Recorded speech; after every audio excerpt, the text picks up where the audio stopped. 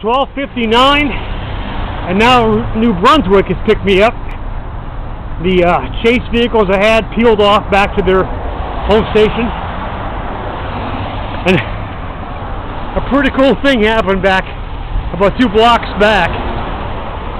About 20 elementary schoolboys, they were walking in a group, and they asked me what I was doing. I told them. They start clapping which is cool. And then they asked me for my autograph. I signed their jackets, their backpacks. I signed one kid. He had a $5 bill. I signed that.